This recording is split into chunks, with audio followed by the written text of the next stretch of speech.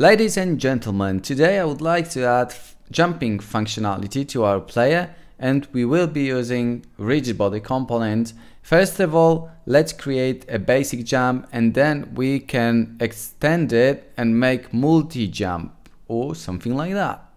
So we've got our player movement script, but actually I think I would like to separate this functionality. So I will create a new script and call it player jump. Okie dokie, it's created, so let's just drag and drop it onto our player and override the changes. Let's open player jump uh, script and let's delete whatever is inside. Uh, we need to change the jumping force uh, so that we can adjust this value in the inspector. So let's type serialized field, float, and let's call it jump force maybe. And let's assign some default value to it like 10F for now. Now we need to have a reference to the rigid body. So let's type rigid body RB. Now in the awake, let's cache it like so. Now in the update, we need to know whenever the jump button has been pressed.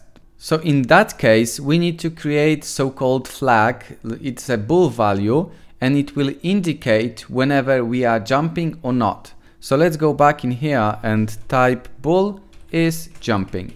And at the beginning, when we start the game, of course, we are not jumping, so we will assign the value false for now. Now in the update, we need to listen for the input. And whenever the player will press like spacebar or jump button on the pad, we want to change this variable to true. So let's do that. If input get button down and here inside the parentheses we will add jump. And whenever the player press the jump button, we want to change is jumping to true. And now I will show you where this comes from. This is the same as get axis raw. So let's go back into Unity. Let's go to edit project settings and here we've got input manager and here is the jump. Our get button down jump will be executed when we press spacebar on the keyboard or when we use a um, appropriate button on our pad. So this is where it comes from. And as you can see, we've got Fire 1, Fire 2, Fire 3 as well. But we are not going to use them today. So okay, we have input from the user. We know whenever we want to jump. So now we have to do that in the fixed update. So let's type fixed update and here we need to check whenever is jumping. Then we need to add some force to our player so it can jump up. So let's call RB and then add force. In here we need to create a new vector. So let's put new vector 2. We don't want to add any force left and right because this is why we will use A and D or arrows on the uh, keyboard. That's why we'll put 0F in here. But when it comes to the y value, we want to use um, the jump force actually.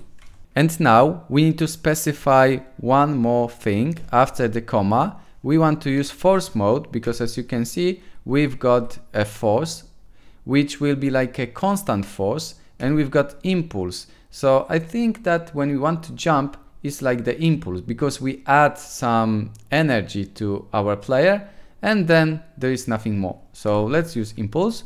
And actually when we add this force to the player, it means that it jumped. So we can change our flag is jumping to false again. And this is pretty much it. Looks like our jumping functionality is done. So we can go back to Unity and check this out. Now we can still move and now when I press spacebar we can jump and we can jump quite high. Of course there are some settings we need to adjust so that we can um, jump a little bit better so our uh, movement is more dynamic. Uh, definitely we need to go into rigid body component. Maybe we'll increase the scale to 3. We, okay, let's have a look. Let's have a look how it looks like. We increase the gravity so we'll drop a little bit faster and I think it looks already much better.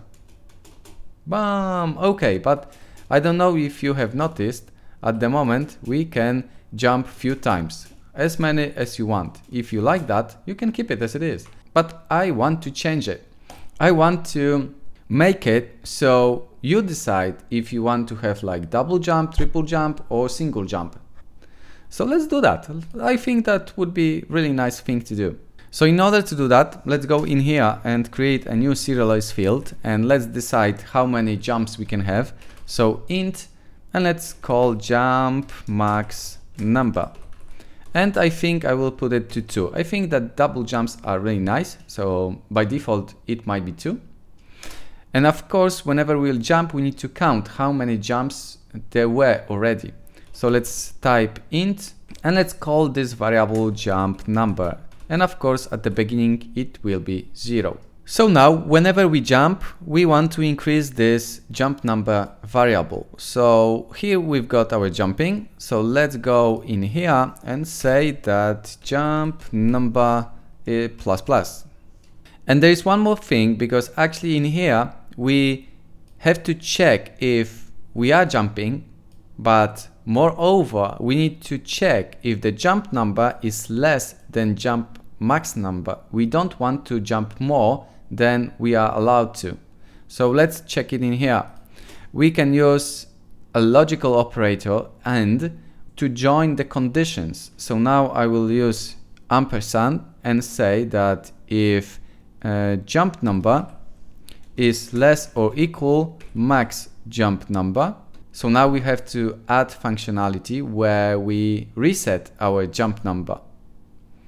And I think it should be done whenever we touch the ground or when we fall on some object. When we fall on some object or stop somewhere on some wall or whatever, then our velocity will be about zero. So that might be the point to reset our jumping count. So let's go in here and check if, and now we are checking our velocity. If it's nearly zero, then it means that we stopped. We are not falling, we are not in the air, we are somewhere, you know, that we can repeat our jump again. We can use a math uh, function because thanks to that we will have always a positive value. It doesn't matter if we are falling or going up, it will return the positive value always. And now we are checking RB velocity y and if this is smaller than, let's say, one thousandth, then we want to reset everything. And why did I put something like that? First of all, we're checking the velocity y. If it is nearly zero, it means we are not falling and not jumping. So in that case, we want to have our jump number equals zero. And why I didn't just put equals to like zero? Because it doesn't work with floats you never really want to compare float numbers to zero or any other uh, number.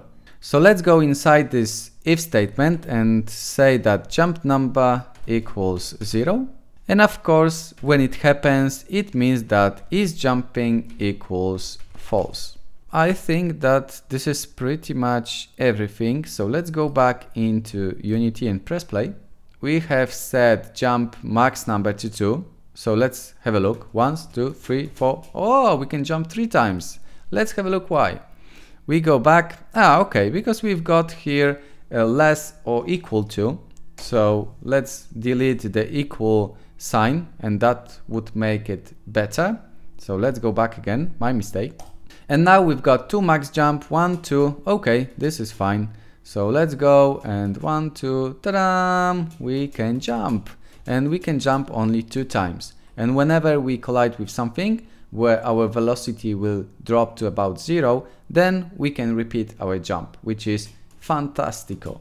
Ah, and we just rotated. Okay, so if you don't want to rotate your player actually, you can open your rigid body component and here you've got some constraints. So you can set freeze rotation. So even if we collide with something, we will not rotate and this is quite handy. So let's go up, overrides, apply all, and actually our moving and jumping system is ready.